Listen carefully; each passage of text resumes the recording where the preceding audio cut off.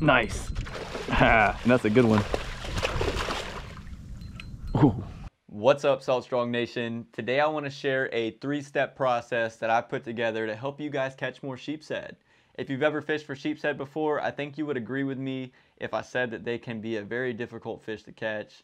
They are called convicts, and they're not called convicts for no reason. They can steal your bait without you even knowing. I still remember my first time fishing for sheepshead. It was a learning experience for sure. So I put together a three-step process to help you guys catch sheepshead. It's gonna sound super simple, but it's gonna be very important. Step one, determine that you're getting a bite. Step two, fill the weight. Step three, set the hook. Now we're not gonna go too in detail yet. Let's jump over to some catch footage where I actually use these three steps on the water, and then we'll go a little bit more in detail on the three-step process. Let's do it, guys.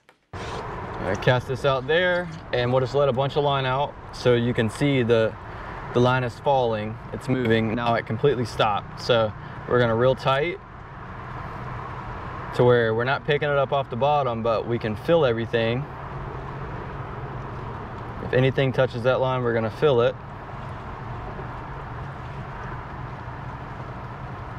And so far, no bites. So I'm gonna slowly pick it up and then I'm just gonna let the current push it back slowly and then I'm gonna set it back down on the bottom. So let's lift it up slowly and then slowly set it back down. That way if any sheepshead are in the area, they'll see it falling. And two, we're just moving to some new rocks to see if there's any hiding down in there.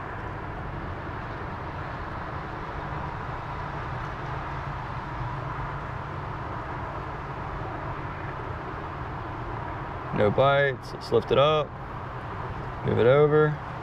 Getting close to these pylons too, so that could be good.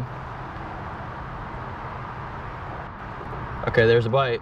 Let's see if we got weight. Yep. Nice. There he is. Little sheeper. If you feel that weight, set the hook. There he is.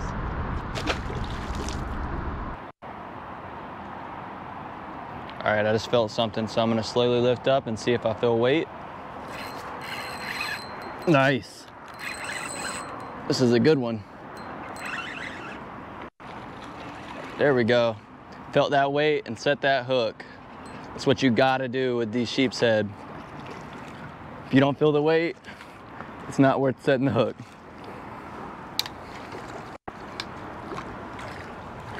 There we go. letting them go today. There it is, guys, the three steps to catching sheepshead. Now let's dial in on these three steps a little bit further. Step one, determine the bite. This is gonna be so important that you really pay attention to what's going on when you're trying to determine the bite from a sheepshead. They can be so subtle, and that's why people call them convicts, and that's why they can steal your bait without you even knowing. But there's actually two different ways that you can determine the bite from a sheepshead. The first way is going to be keeping your line tight between your rod tip and your rig and actually filling the bite through your rod. As you'll see in this clip here, my rod tip doesn't move very far from where I'm trying to determine the bite to where I'm checking for the weight and then setting the hook. And that's because I had my line tight and I was feeling for the bite for those sheepshead. But there's also another way that you can check for the bite of a sheepshead and that's actually keeping your line loose and letting it lay on the surface of the water and watching your line for any abnormal movement.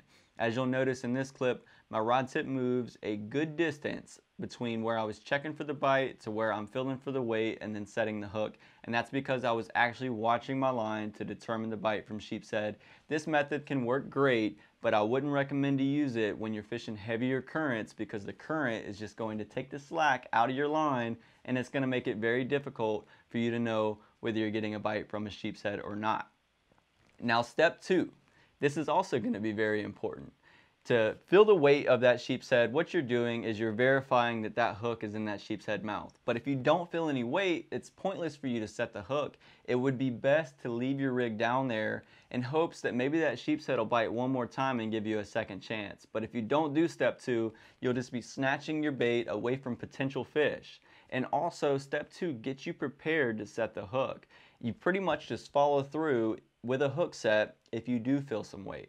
And this is going to ensure that you're getting a good hook set because you have complete tension between your rod tip and that rig to know that you're getting a solid hook set on a sheepshead, which is step three. This is also going to be very important because if you don't get a good hook set on a sheepshead, you're likely not going to catch that fish. They have a lot of teeth in their mouth and they have a small mouth at that. So by getting your line tight to get that good hook set is going to be so helpful for sheepshead fishing. But that's to wrap it up for this one, guys. I really hope this video helped you out. And if you want to see more content like this, definitely check out the Salt Strong Insider Club where we guarantee that you will catch more fish in less time and save money on everything that you need to do so by taking advantage of the 20% off discounts that you get on our entire tackle store. Hey, and if you use a different method to catch your sheepshead, I highly encourage you to put that in the comments below. I would love to hear about it. And uh, hopefully I see you guys in the Insider Club. You guys have a good one.